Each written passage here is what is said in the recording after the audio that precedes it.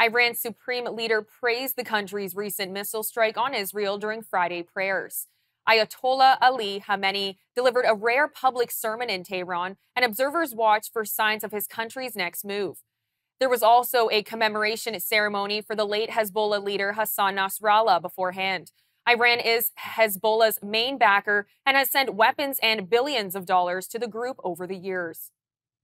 Lebanon's state run national news agency says that an Israeli airstrike has cut a main highway linking Lebanon with Syria, leaving two huge craters on either side of the road. The strike led to the closure of a road near the Masna border crossing, where tens of thousands of people fleeing war in Lebanon have crossed into Syria over the past two weeks. It's the first time this major border crossing has been cut off since the beginning of the war.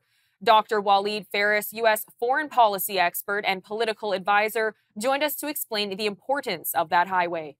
What this action by Israel on the Lebanese Syrian border means is that uh, the Israeli government wants also to uh, isolate Hezbollah. The most important strategic route between Hezbollah and Iran goes through that border into Syria, into Iraq, into Iran.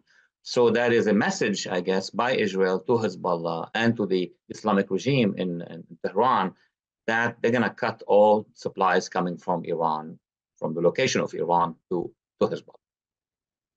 So it is now evident that the majority of Lebanese, 70% of Lebanon, mostly Sunni and Christian and Druze, are opposed to Hezbollah. Hezbollah has attacked their regions now, obviously, in the Shia community, there is a base for Hezbollah, but not every liberal Shia see eye to eye with, with Hezbollah. So now what we have is a majority of Lebanese unarmed who are struggling, launching demonstrations to disarm Hezbollah. And Hezbollah wage its own war on Israel. So you have two things happening at the same time. Hezbollah is clashing with Israel, and they initiated the war. Hezbollah clashing with 70% of the Lebanese who are unarmed.